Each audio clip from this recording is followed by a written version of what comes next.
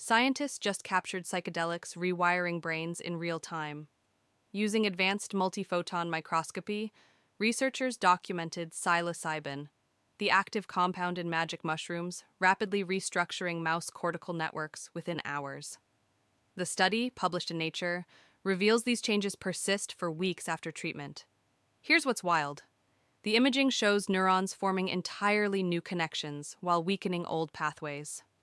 This neural remodeling correlates with measurable behavioral chi- cha- changes or changes.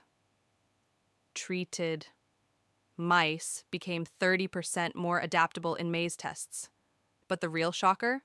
The brain changes followed fractal like patterns similar to how snowflakes form. While human applications remain experimental, this could explain why clinical trials show psychedelic therapy helps with depression and PTSD. Comment below Would you try FDA approved psilocybin therapy if available?